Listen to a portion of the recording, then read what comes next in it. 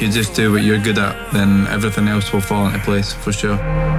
It's safe to say I see the end. The time is now. It doesn't always go the way you want it to, but in the end, it's the same goal that you want to achieve every time. Don't be shy when uh, putting these uh, boosts in, just go crazy with these shit.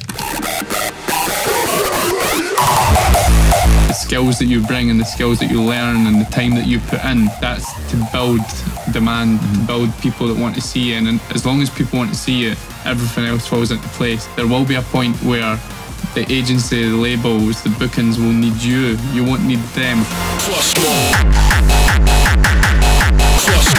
This is Rebelion here. And this is our masterclass.